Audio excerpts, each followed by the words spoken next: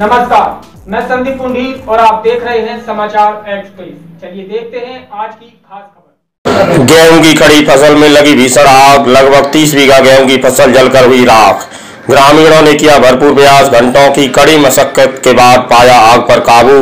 सूचना पाकर घटनास्थल पर पहुँची फायर ब्रिगेड व पुलिस। पूरा मामला हाथरस जंक्शन कोतवाली क्षेत्र के गाँव अखईपुर के खेतों का है।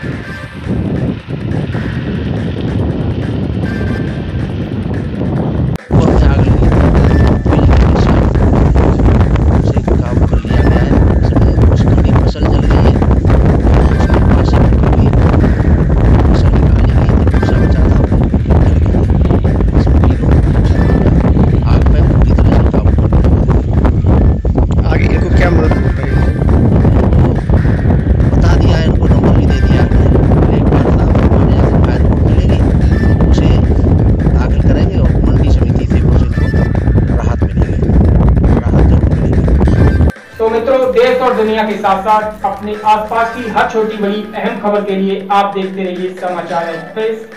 जय हिंद।